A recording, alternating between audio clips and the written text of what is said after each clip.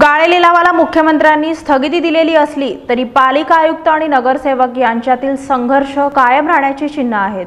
भाडे करार संपलेल्या शहरातील तेराशे मिनी आणि मेजर गाळ्यांच्या ई टेंडरिंग लिलाव प्रक्रियेस मुख्यमंत्र्यांनी स्थगिती दिली आहे. व्यापारी वर्ग तसा आता या संकटातून सुटलाय.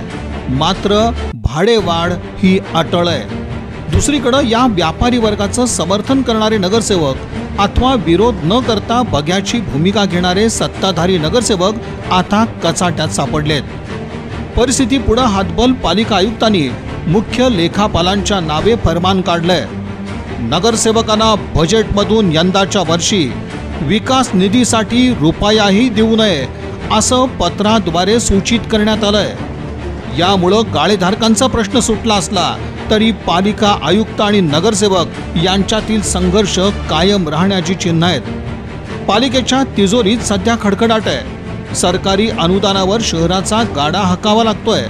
मिळकत कर तसंच अन्य किरकोळ कर प्रणालीतून फारसं काही हाती पडत नाही.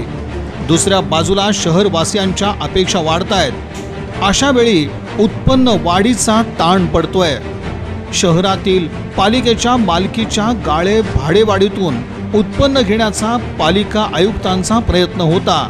त्याला खुद्द नगरसेवकांनीच खीळ घातली आहे. साऱ्या प्रकरणात उघडपणे पालिका आयुक्तांनाच लक्ष केलं गेलं. आता पालिकेची आर्थिक गणितं कशी घालायची असा सवाल प्रशासनासमोर आहे. कोणतीही पावलं उचलायची म्हटलं की लोकप्रतिनिधींचा लोकानुनय हा अडसर ठरतोय.